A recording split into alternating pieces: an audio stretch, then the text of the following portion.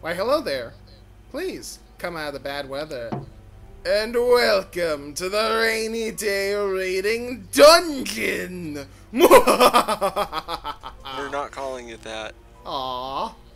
Alright, welcome to Rainy Day Reading. I'm here with uh, Johnathan Kaharl. How are you doing, sir? Doing good. And I'm also here with Danni Kristen. How are you doing, ma'am? I'm doing good too. Alright. Today we are here to talk about Zashiki Onna, an award-winning uh, horror manga from 1993. Would you Uh, say it's award-winning in the same way uh, that one song from the '90s, uh, some generic white guy sang was a top number one hit because it's just a fluke in the system? I have no idea what you're talking about. I can't remember Like, the name of the absolutely song. no idea what you're talking about. I honestly don't remember the name of the song because it's so generic. But like, sometime in the '90s, like at the height of the adult contemporary years, there was this one uh, white guy who came out of nowhere and got the number one spot. But it was only because of fluke in the system. Like, uh, the charts were shifting and the way they counted things. And he was basically there, even though his song didn't really sell much. He got a lot of radio play, and that was enough to get him number one. Oh, okay. Well, So, if yeah, anyone statistics are kind of fucked. Yeah, they, they often are. Well, if you know the name of that song, let us know in the comments. So, we, we're here to talk about Zashiki Onna, but before that, uh, Johnathan, you and me have something to talk about, and I'll go first since I'm still talking. Uh, recently, Okubo Atsushi, uh, creator of Soul Eater, has begun his new series this week Fire Brigade of Flames. And it's all about how people suddenly combust and burst into flame people who go on rampages throughout cities, and firefighters who are now awesome badasses who fight these flame people. Do you think he saw the internal combustion episode of South Park and decided, what if that was darker? I, I think so. I really do. uh, but also, I, I gotta say, if you like Soul Eater, I think you're also gonna like this. I know if you like Soul Eater's artwork, you're gonna like this because it, it's basically you could put anything in this series in Soul Eater and it would not look out of place. This is basically this is basically just Soul Eater's art with new characters. Which you could honestly say was Soul Eater or not, but this isn't comedy. But I, I did enjoy it. There's only one chapter out. I just wanted to let everyone know that it's now out there and the guy is still doing some good work. So, Johnathan, you had something similar to talk about. You should go. Alright, uh, the person who uh, made Witchcraft Works uh, announced a new series as well. There's only like one chapter translated so far, and I'm not even sure the second chapter's out yet. It's called Ivory Dark, and it's like Witchcraft Works if you removed all the comedy and fun and replaced it with a character trying to commit suicide and general everything is terrible and body horror and all that. That that uh sounds That sounds like something I should read about Christmas time because I'll be too happy to be depressed by it. Yeah, it's about a girl who can see ghosts and spirits, but she doesn't really uh, understand what she's seeing, and she's told by her father to keep it quiet. She's like living with her aunt and uncle and uh, her cousin, and they're all and they all kind of hate her, and she's having a bad school life because the one time she tries to warn someone about a ghost that might be trying to kill their boyfriend, they don't believe her, and then when she comes when she comes out and is truthful about it they accuse her of being crazy and being uh, passive aggressive and trying to break them up. And by the end of the chapter, she's trying to. I'm not making this up. By the end of the chapter, she tries to kill herself until another person who can see ghosts just pops out of nowhere in, biki- in like a fucking bikini swimsuit with a witch hat, and like all witchcraft works with a gun, kills one of the demons, and it's like, hey, what's going on? That sounds Yeah, so it's probably like uh, Witchcraft Works, but gayer and with a whole lot more suffering. that sounds wonderful. So there you go, folks. We'll st- we start this off by telling you about two new series from two very popular authors. Hey, this it sounds wonderful. They also, Also- sound they're also pretty uh, related to the season and all. Yeah, they, they definitely are. Uh, just one last note on Fire Brigade of Flames. It is released in Weekly Shonen magazine, so hey, no longer waiting a month to get a new chapter from from this person. My God. Yeah, Now, if only Alright. they could do that for Blue Exorcist. yeah, yeah, really.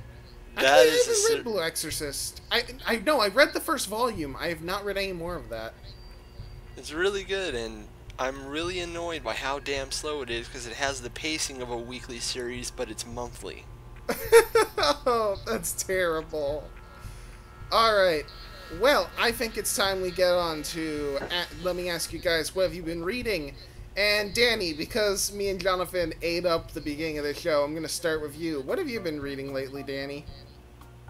Um, well, I haven't really been reading much of anything. Just been, um, the only manga I've read recently, besides the one we're going to talk about today, is uh, just new chapters of um, JoJo, JoJolion, and um, We haven't had someone talk about jo- any JoJo on this, which I'm absolutely amazed by. First off, so All I know Wait. about JoJo is the memes.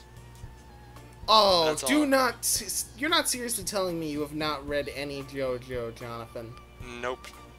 I've seen a bit Oh. of the uh, part three OVA, but not all of it. Oh, th- that's OVA? terrible.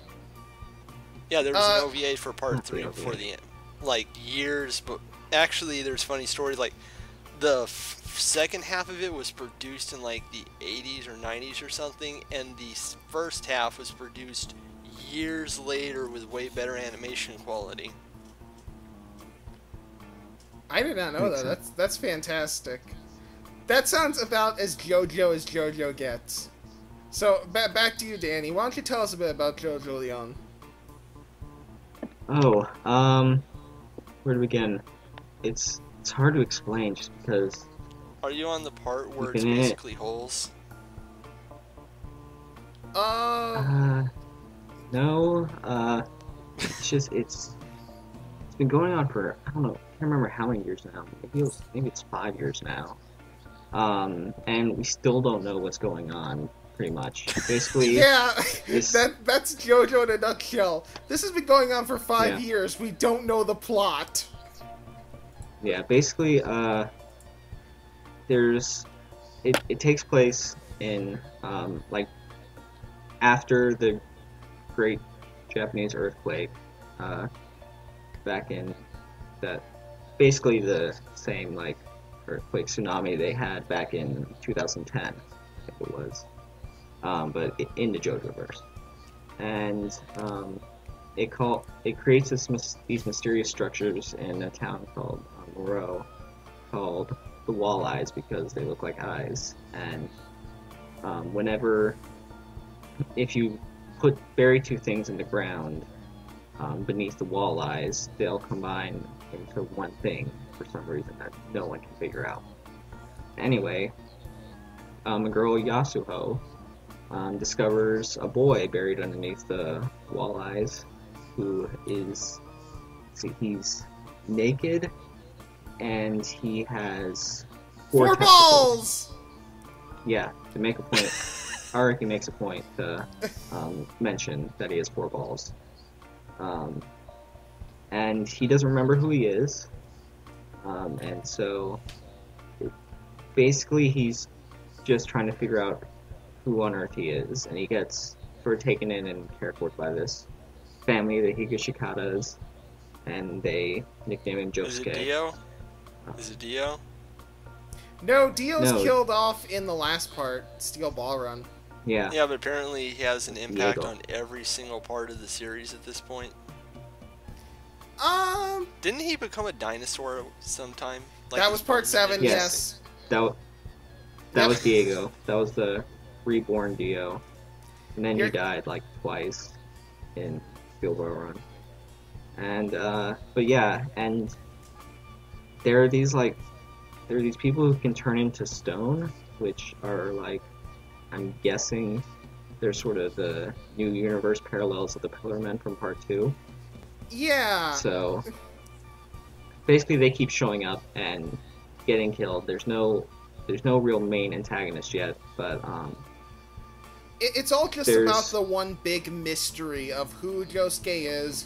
Why Yeah. were the two people that he was buried in the ground? It, why, basically, it was like, why were their bodies hidden that forced this person to become kind of these two people to become one person? This sounds like And- some Grant Morrison shit. I actually can't think of who Grant Morrison is, so I, I can't. I don't know how to. Answer Oh that. yeah, I guess I'm the only comic fan here. He's the guy who wrote Batman Rip and Final Crisis and uh, a bunch. Uh, 90s run on Animal Man. Basically, whenever he writes something, it gets so meta that it kind of goes up its own ass, and it's amazing. Oh. It's kind of hard to describe. Like, well, uh, do you remember when I was tweeting about that one series? Like, I believe it was called The Filth, and like there was one uh, uh, to an arc where the a city was attacked by gigantic flying sperm. I do not. No, you're the only. What? What happened now?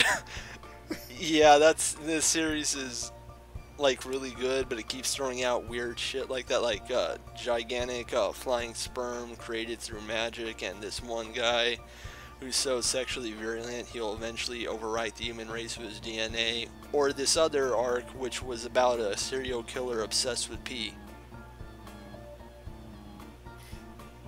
So, Dan, so Danni, uh, I'm gonna, I'm gonna go ahead and cut you off. Say, JoJo Part Eight is fun, but we don't know how to describe it because we're so deep into the fucking fandom that we kind of don't even understand why we're having fun anymore. We just know the fights are awesome, and the fights Also, really are good in JoJo. We still don't know what it's about. Like, what is it? What direction does it have? Has it even Yeah. started it? We we really like, don't know. because I think there are multiple directions. The directions they can take is, uh, why was Josuke killed? Who are the Stone Men? What what's with the fruits that can turn people like super young?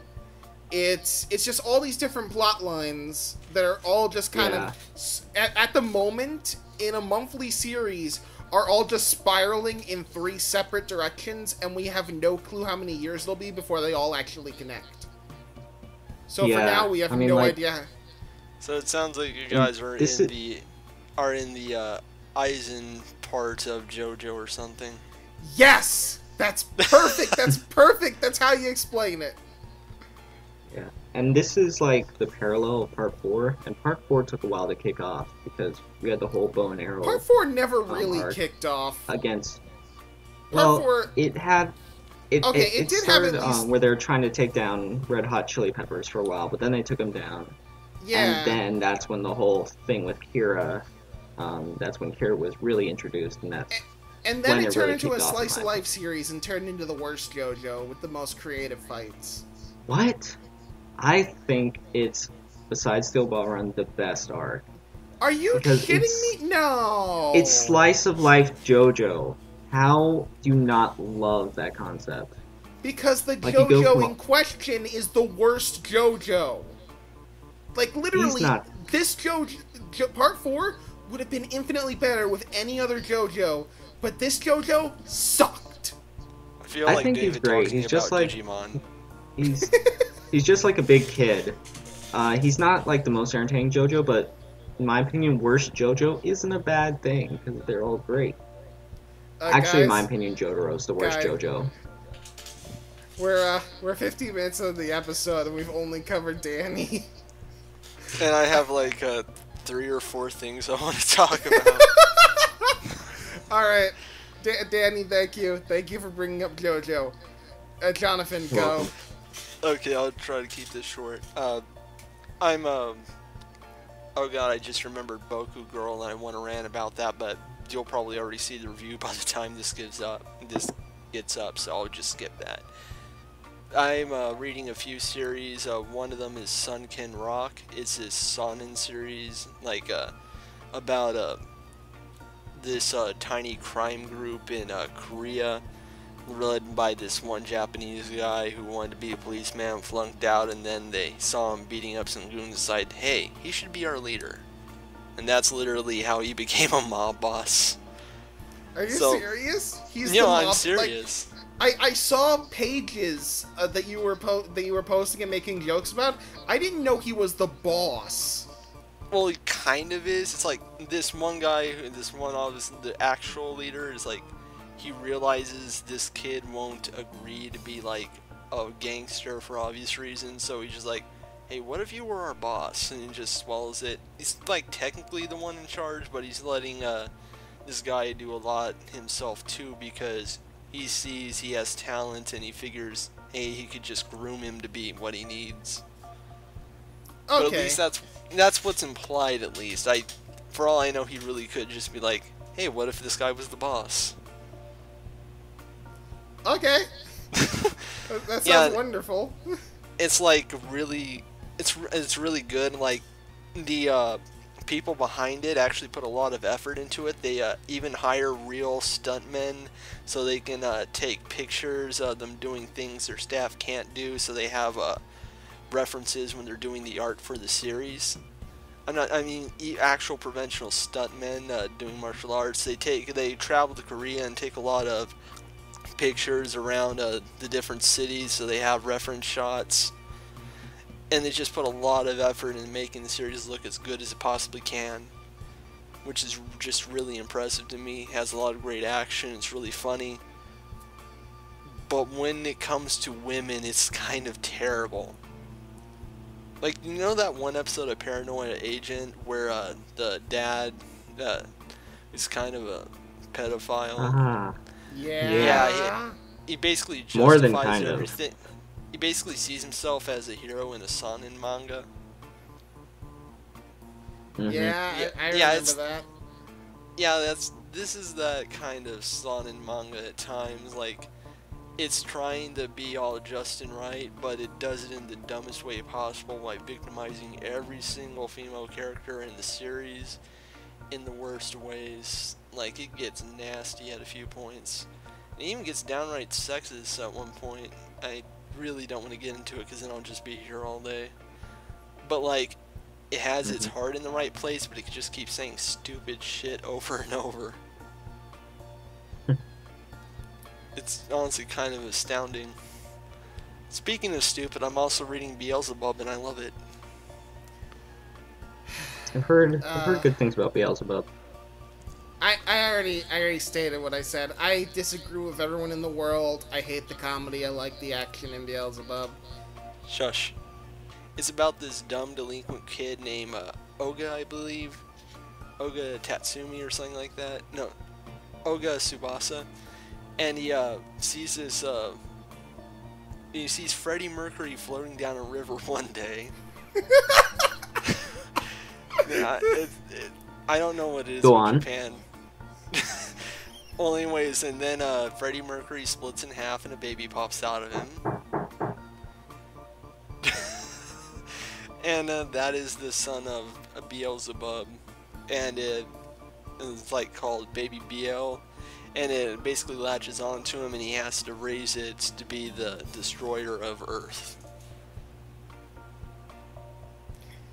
Yep. Now, if this was like an, a serious series in any regard to go down like a try to examine the situation seriously, but instead, it is a very stupid, self-aware comedy, and it's kind of amazing just all the stupid shit that keeps happening.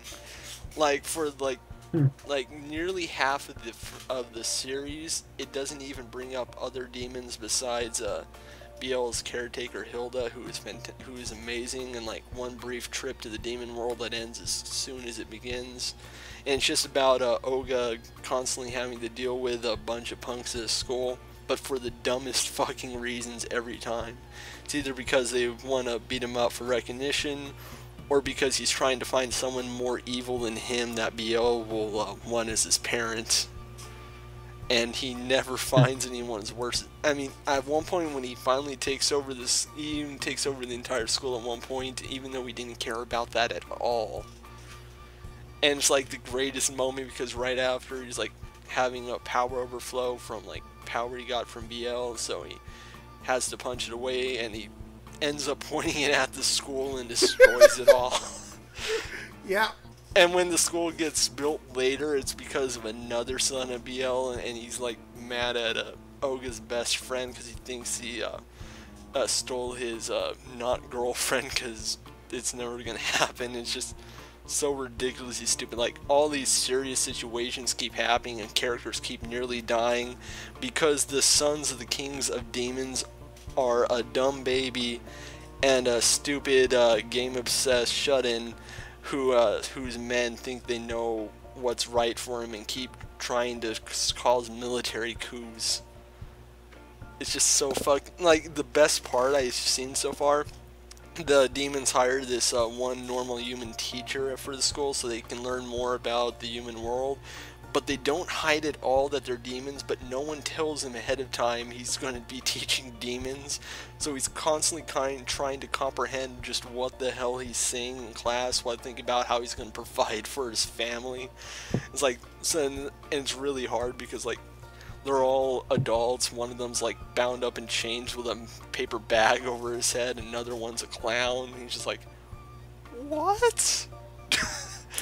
He's just trying to keep a straight face the entire time. Eventually, he sees uh, the son of uh, Beelzebub, and it's a kid, and he's like, okay, that's normal. I'll just go with it. he just kind of gives up on his sanity. It's beautiful.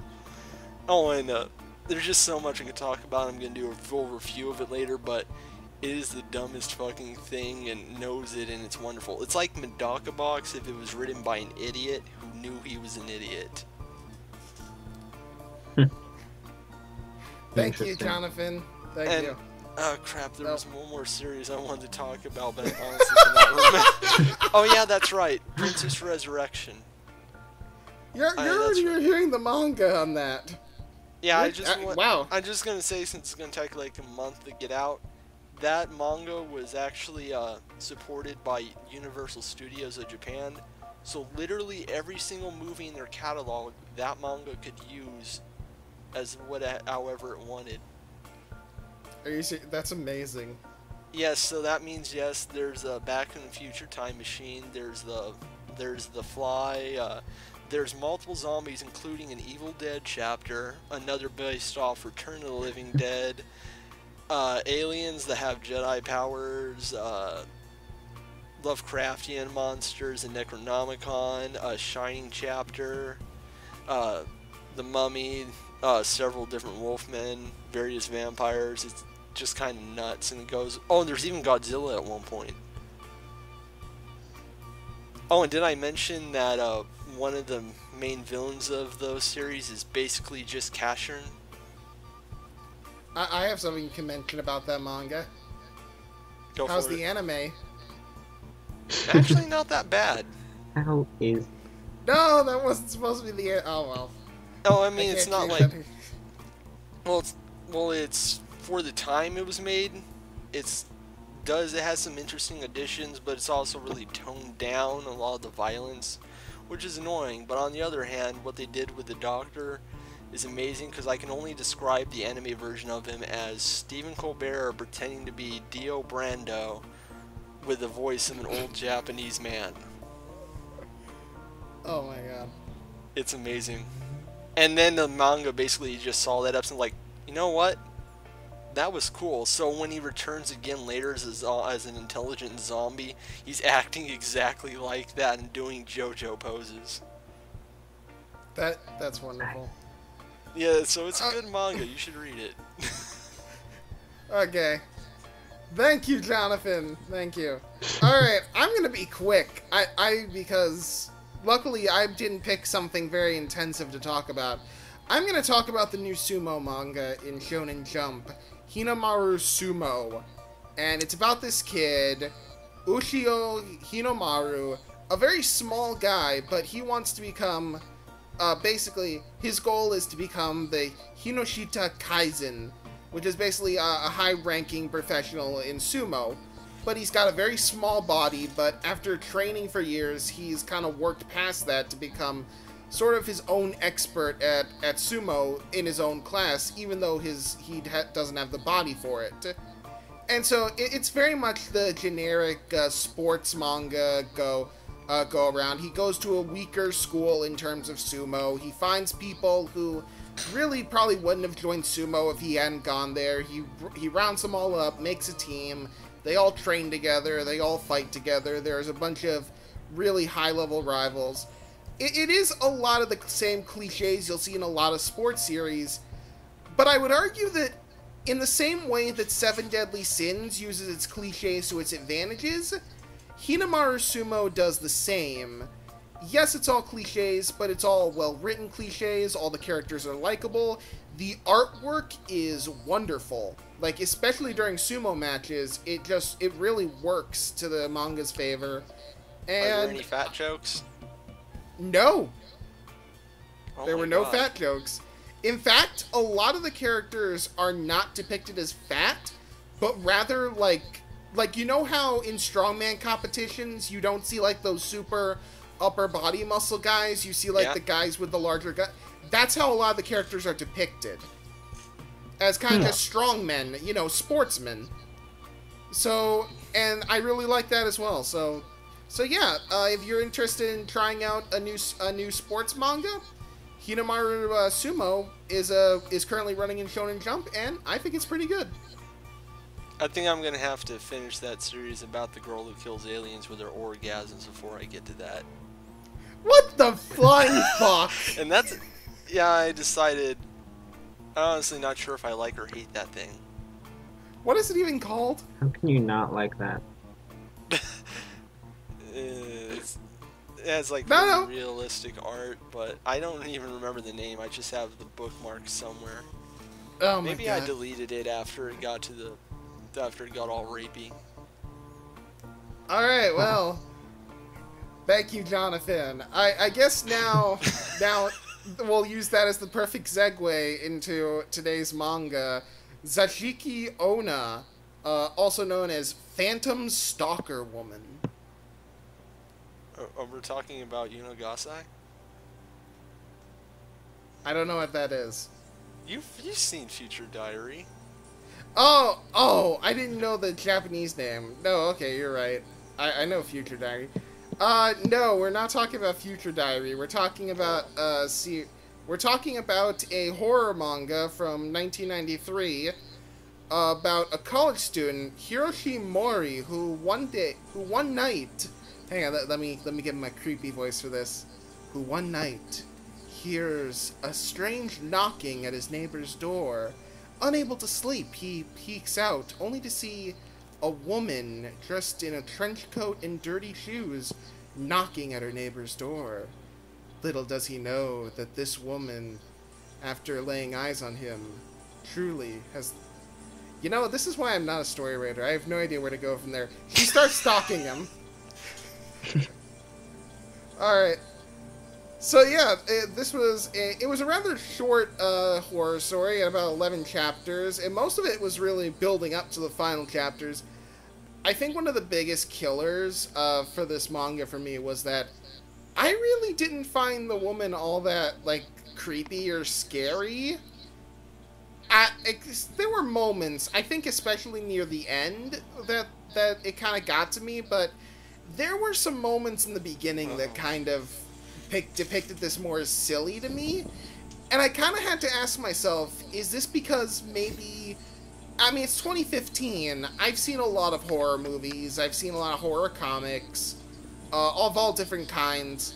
Am I just kind of ruined to this? Like, is this just not at a level where I can find it creepy anymore? I- And I, I don't know what you guys I'd think. say it's I'd say it's not really it's not really that scary at or creepy at first because it's just kind of hilarious with how they like do the art and how cliched this is now.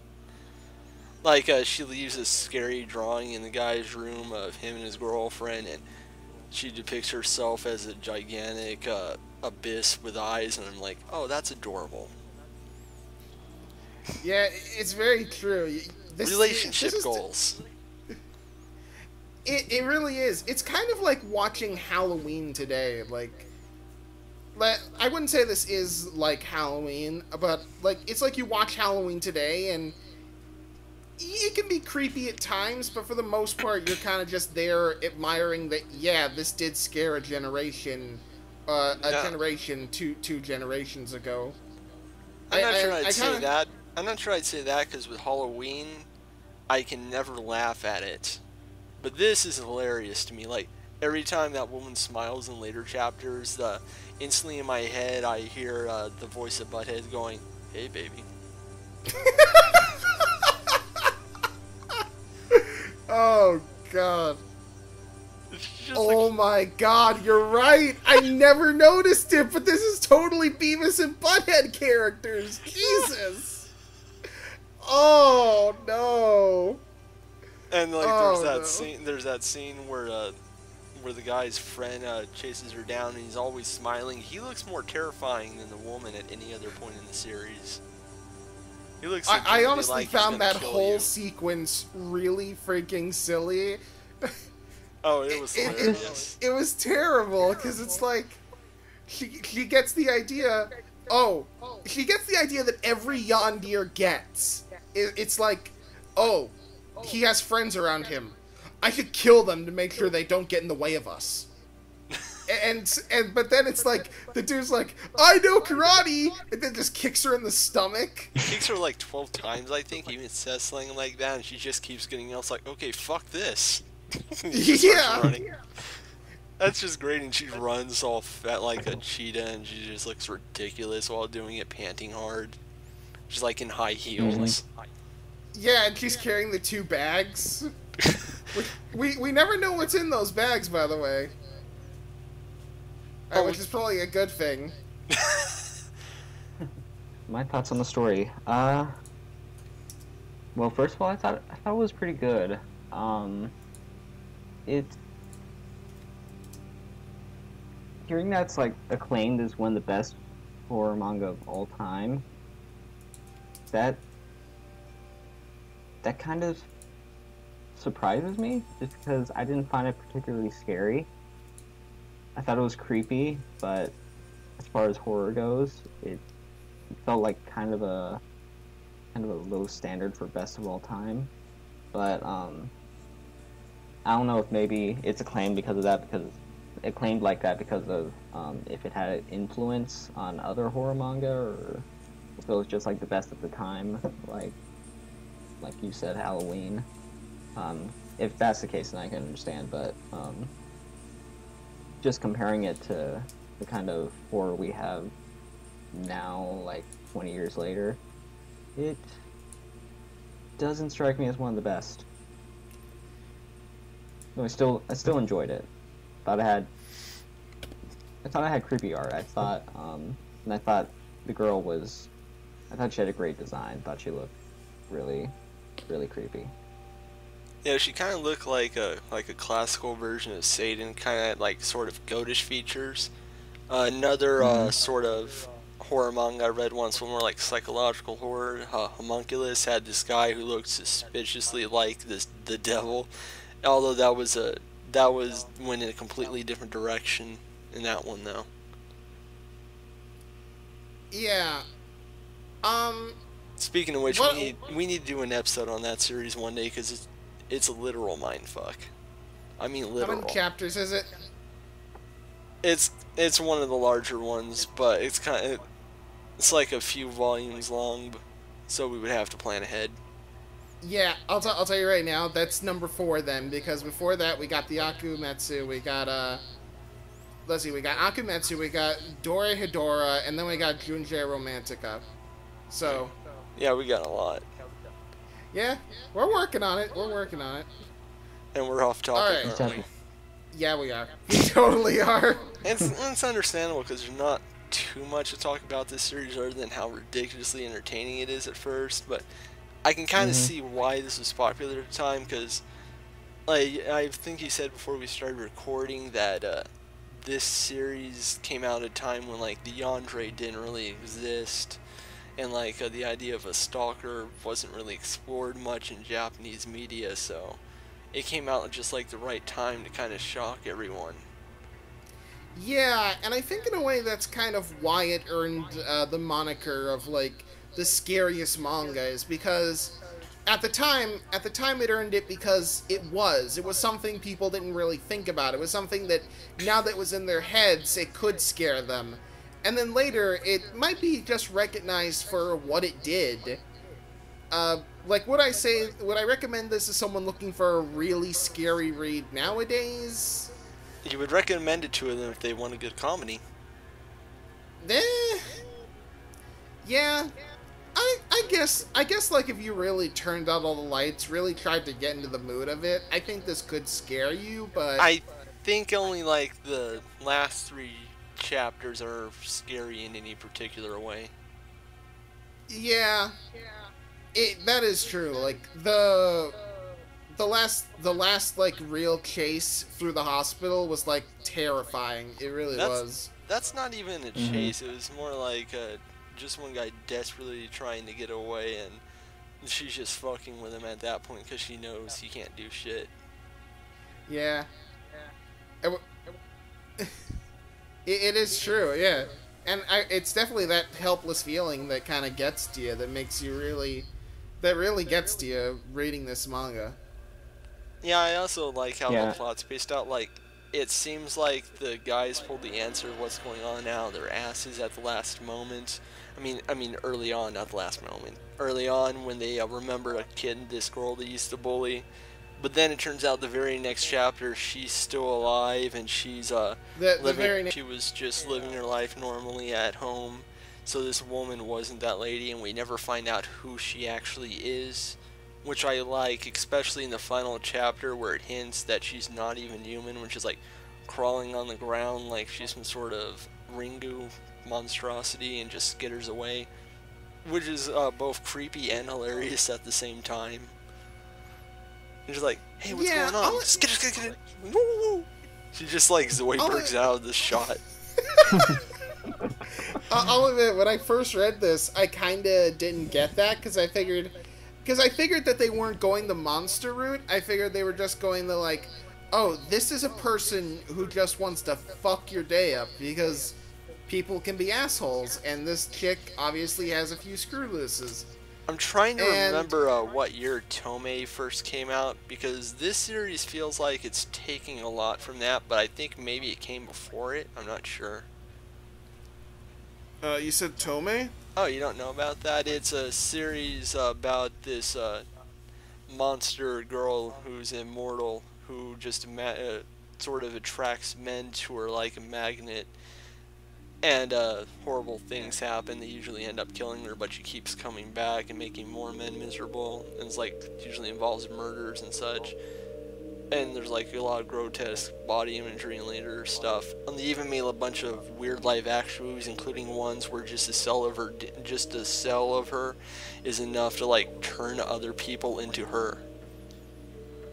That's So, awesome. like- Wow. so No, like in- I, I hadn't heard of that. that. So yeah, like one of the movies, there's just a entire family of her fucking around with this guy uh, who uh, killed her, like at the start of the movie. And another, she's like in a it's just hospital madness, and like two Tomies running around trying to kill each other because all Tomies hate each other for some reason. It's just ridiculous. It's like Freddy versus Jason, only it's a cat fight. No, I'm not sure cat is appropriate considering it kind of gets into weird, grotesque body horror shaping shit at some points. Good to know then. Yeah, but I kind of Alright, got alright. like Tomie vibes from this, like with the whole women will cause the downfall of men thing that Japan seems kind of obsessed with for some reason. You ever notice that in horror? They they really seem terrified of women. Uh, I did kind of notice that with I I do know that The Ring and The Grudge were based off of Japanese horror movies, and uh, I I kind of you can notice it there. Like all the vil- all the main villains are women, so yeah, you kind of do notice that. So Yeah, but it's I always like, think that I always think that comes from like a, a kind of a corruption of innocence um, thing, because like little th- things that are always in horror and always scary are like dolls, little girls, things that you associate with like childhood or purity, and but then they're they're corrupt. They're trying to kill you. They're evil. That's that's what's like universally scary to people, and I think that's how it is with um, a lot of women in horror when they're the villains. Kind of that corruption of the purity that they see it as, or the Yeah. gentleness in a sense, because that's that's how they're seen, and then they just That's definitely part of it, but I think there's like you. something more going on. Like whenever this comes up in Western horror, it's more subtle about it. It's like, like maybe have like vagina imagery or something. But this has monsters that are literally just women who have like some sort of strange thing about them, and their uh, motives usually involve just fucking up the lives of the nearest man or something. Yeah, yeah, and that's basically how you describe the plot of this. I mean, dude catches eye of uh, of a crazy woman, and she just kind of shows up and fucks him, and not in the good way. I, I realized my terrible wording like halfway through it coming out of my mouth. So, well, I I feel I- like We need to It's talk. kinda funny, We, I we feel need like- to talk about the ending of this because we have. oh the ending. Yeah, because Okay, yeah, you go on. Actually, there is something about the ending I was very curious about. If the ending was supposed to imply that she was kind of this, this not human but a being that just looks for people and hunts for them, then why is it that the the whole reason this started is because this woman was banging on the door of Hiroshi's neighbor Yamamoto, and in the last chapter we see Yamamoto had just left, and apparently this was enough to throw this being off. So why is it? So why was it that Yamamoto seemed to be able to survive until he walked back into town? I think I- What, what was going on there is uh, they weren't. part- She he wasn't particularly uh, that close a target of her yet, so uh, she just switched her mind. But when she's like uh, telling uh, the main character that she doesn't know who Yamamoto is later on, I think that's just her fucking with him.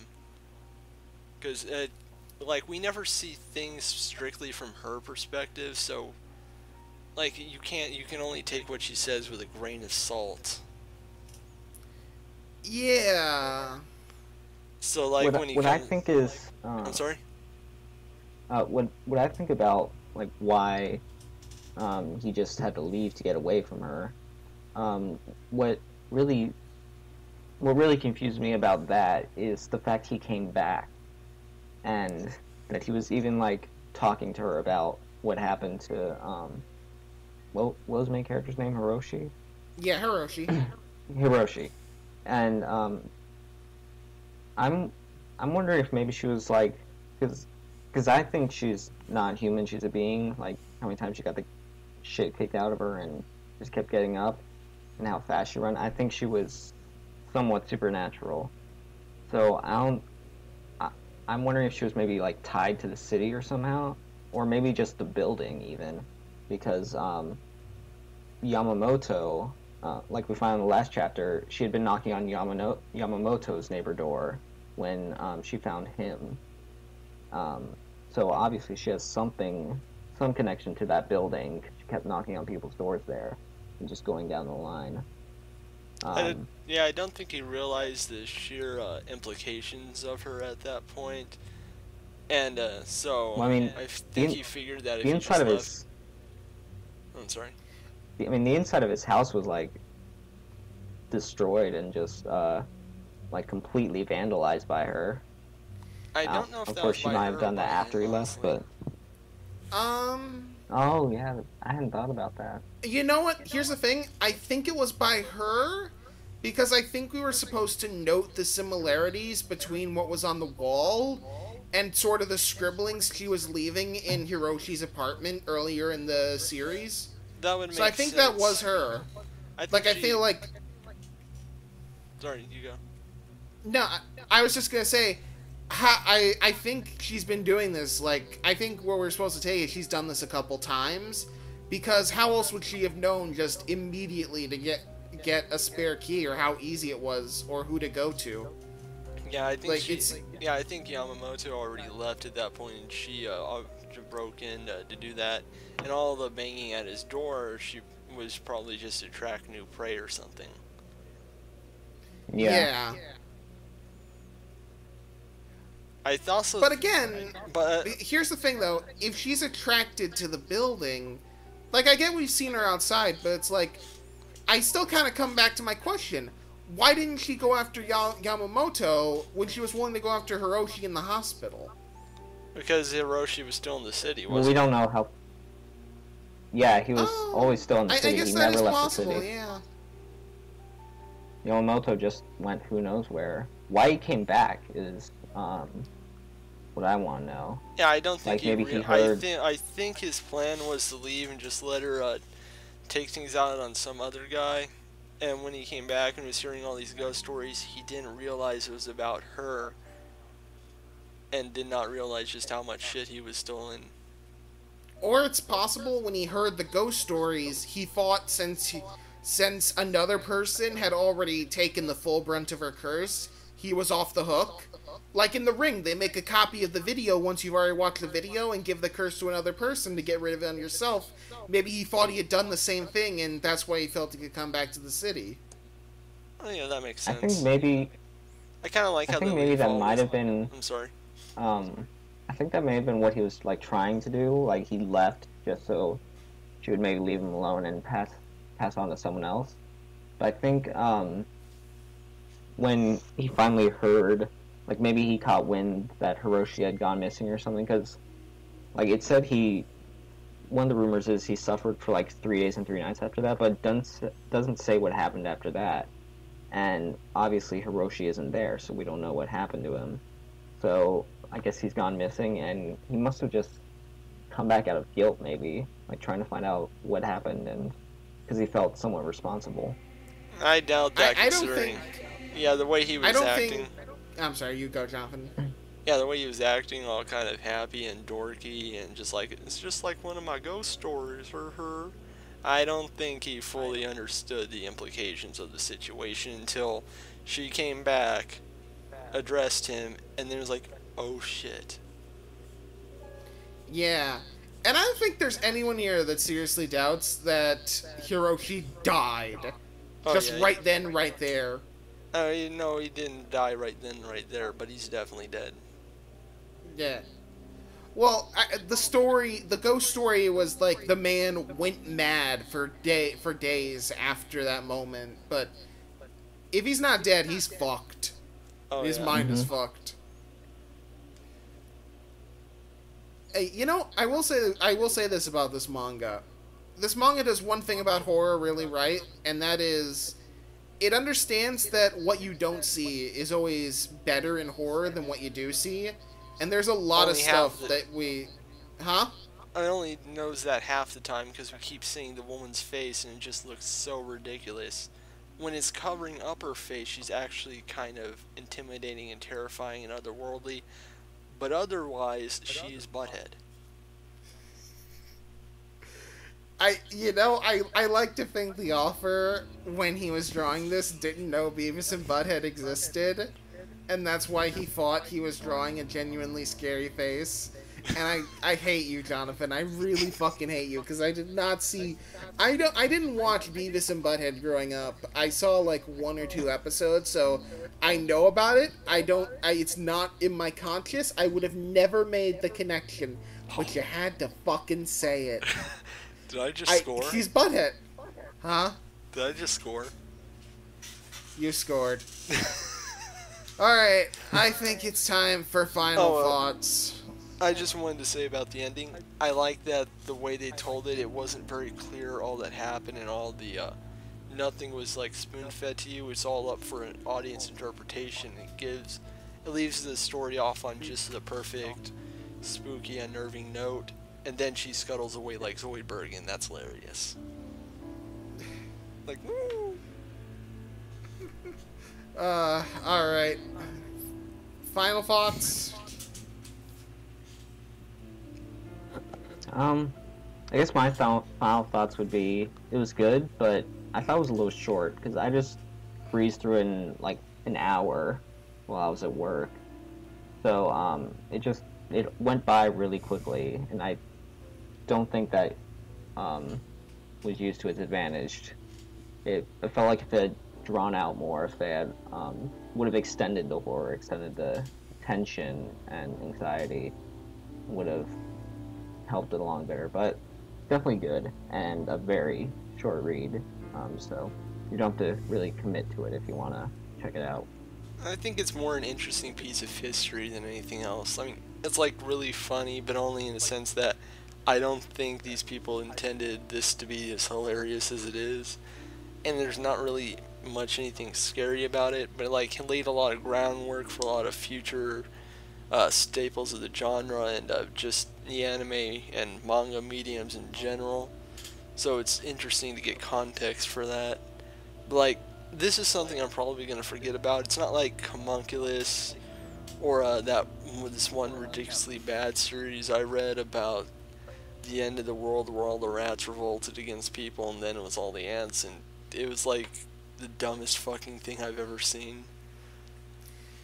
I I've read re- I've read Region. I considered That's that it. for this month, but I figured I, I kind of figured, you know, we we we we want to be scary. We don't want to be like silly up in the here. Yeah, but like Alright. I'm gonna remember something like Region and something like Homunculus because, but I think it's partly because they're ugly. Like this series has like ugly designs, but not very ugly material. It keeps things too generic and simple. But those series delve really deep into thing into like the dark recesses of how people perceive the world. Yes, even Region, it just did it in the dumbest way possible because it was like more focused on Well, making yeah, but, like, every character I know that wasn't. No, you, you go ahead. You finish. Yeah, it's like it makes every character as ugly as possible and just makes them the worst human beings imaginable. So it's like more about how much people generally just kind of suck and are kind of deserving this. While uh, Homunculus breaks out a lot of abstract, absurd imagery and ugly people, but like explores like our deep insecurities and what makes us us. But it does it in a way with a character who's very amoral, very questionable, very unlike someone who doesn't even know himself. Oh, did I mention at one point he eats his own cum? Oh wait, he snorts it up. That's right. Okay. Okay. Yeah, it was first it was off- ma- Homunculus is made by the person who made Ichi the Killer, so Oh God, Ichi the Killer. That was terrible. Anyway, first off, I uh, on Region, I will never get over the fact that of all the people in that series, the teacher survived. That was the biggest bullshit. That really was. he's probably gonna die in the end the way they left him. Yeah, but he survived to the end of the manga. That's a problem. Well, you can't Uh, kill but secondly- cockroach. What year was Homunculi? That is a good question. I think it was in the 2000s. Uh, You see, there you go. And I know that uh, Region was also 2000s. This was early 1990s, and as you as you can see by looking back at old horror, like in any genre, in any or not any genre, any year, any decade, you look back at horror and you see that it evolves with each year. It gets a little more grotesque. It it does it tries a little harder, does a little more to try and get to its audience. And I think in that way, Zashiki Onna, you're right. It's kind of a time capsule of what was scary at that time, what Yeah, worked for I- that time. Yeah, but I think even I- for like a time capsule, it's kind of lackluster. Like something like Halloween, I can look back on and generally be really impressed by because there still is a lot it did right, really well. Even like the original Friday the Thirteenth has elements like that, like the first Nightmare on Elm Street, and these are all not particularly good movies, but what they get right, they really get right. This never gets right exactly what it needs to get right, and kind of becomes devolves too much into a comedy. It's like a sequel of one of those movies than uh, the original that's kind of started everything in terms of quality. So just kind of throws me off that it's just so kind of eh. I disagree. I think it is a very it's a very nicely tightly packed story about one man who just stumbles on to the worst thing he could have in his life and just how he deals with it. And it's it's not re- and you're right, it's not this big overblown thing, but I think I think in a way it's almost more refreshing that it isn't. Like I can pick up any manga, any manga out there and it'll be this random giant thing with magical people, people, giant monsters. Even like you said, Princess Resurrection was like this big, almost in a way satire of the big uh, Universal movies. Movies. Uh, we're we're gonna do uh, Kiban near the end of the month, and that one in a way also goes a little over the top in how it does things. And I think in a way the fact that this doesn't go over the top in a way works best to its advantage because there's not really anything like that. It's a very somber story, and I, think that just works. I just realized something. The reason What? this isn't clicking with me like it should is because it's not. There's no. you realize you dropped again.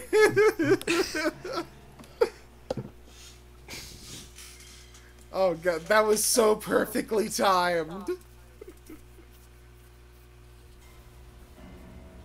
Uh, Okay, I'm back. Jo- Jonathan, are you back? Okay.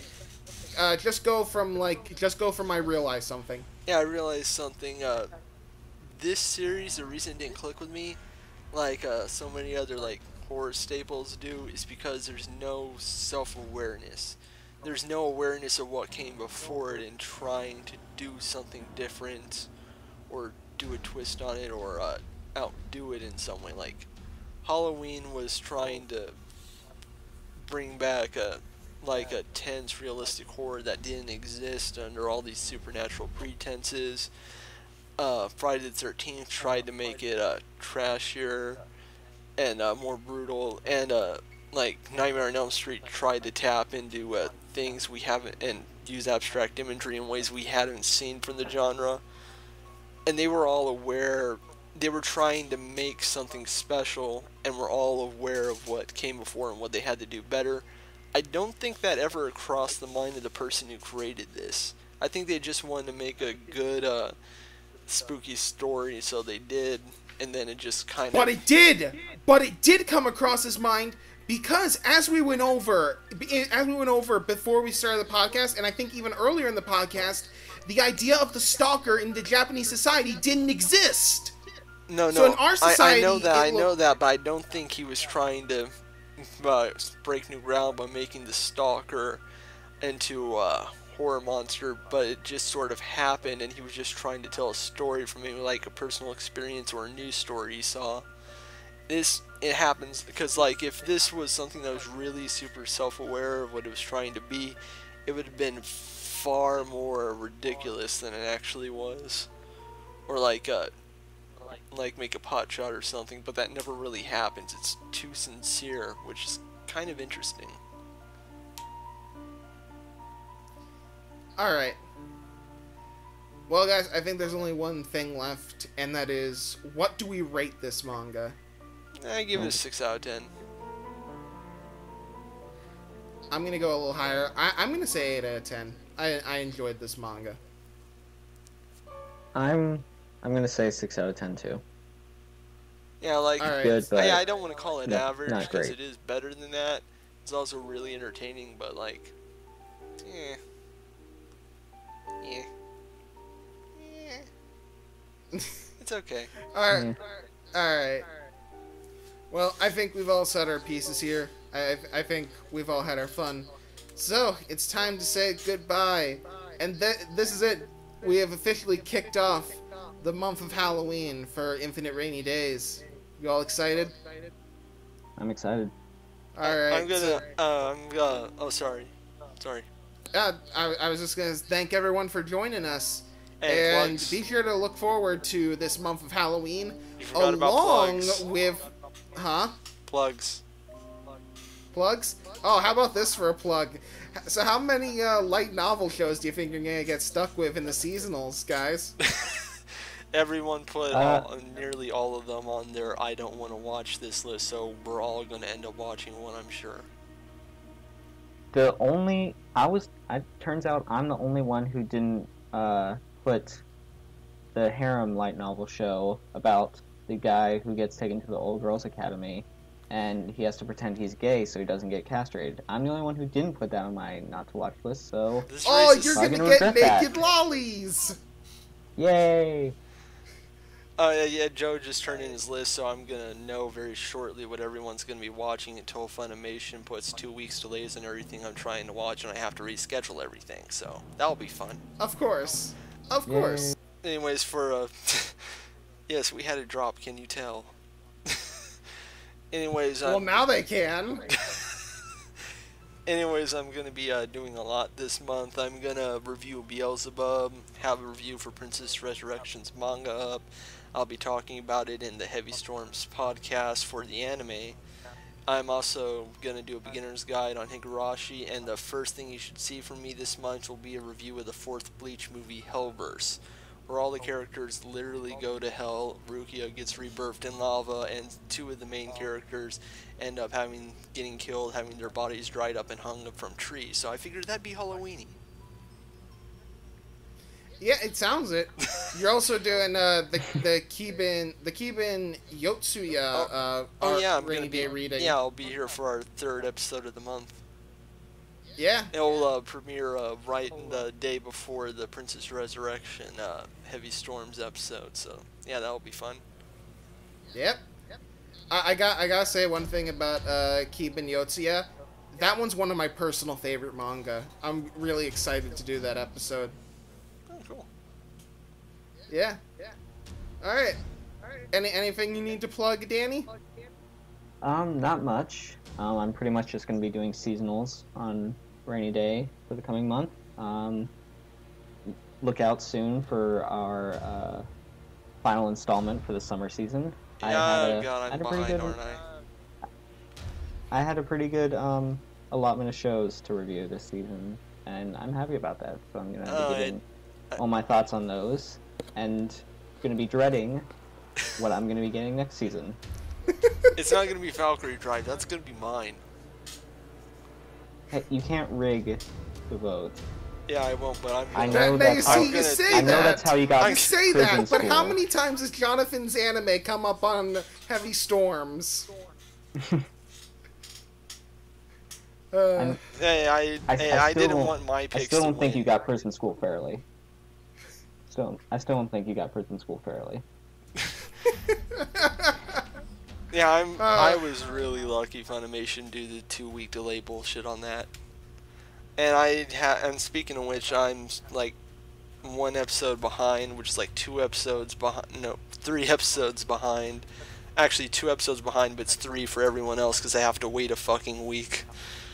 So I'm like caught up with Overlord and I'm caught up with Monster Musume, but I need to catch up with every literally everything else, and I have to finish Gotcha Man and I have to finish uh, Cinderella Girls because I want to review that at some point because it kind of pisses me off so much. Oh god, I have so much anime to watch this week. well, good luck, Johnathan. And all you out there, have a spooky night. Bye Would, bye. would you say scary spooky? I would say scary, spooky skeletons. And, and please end this with the skull trumpet.